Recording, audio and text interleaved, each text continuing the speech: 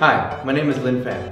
Hi, my name is Cynthia Lumzy and I've teamed up with some friends to bring you Congregate and Create. Congregate and Create, presented by Schwarzkopf Professional.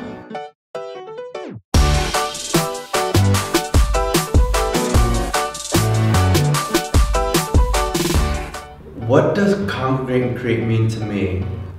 To me, it means the coming togetherness of you know many different types of artists to create something beautiful. Doesn't matter what skin color you are, what type of hair color you have, or what type of hair texture you have, that you know we can all come together and learn and create. There was not a lot of education that was really out there with a lot of the, the individual brands.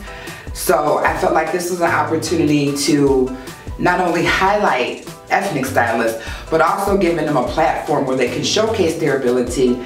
This means everything to me. I'm super excited to be a part of this. I know it's gonna be amazing and phenomenal. And I do feel like anyone that's here is going to appreciate everything that we've done with this project.